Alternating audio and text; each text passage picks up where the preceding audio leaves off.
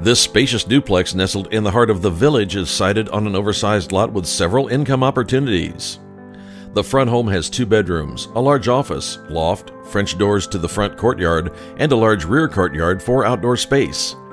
The rear home, detached from the front, has large living spaces, two bedrooms, two baths, and a huge private entertaining deck.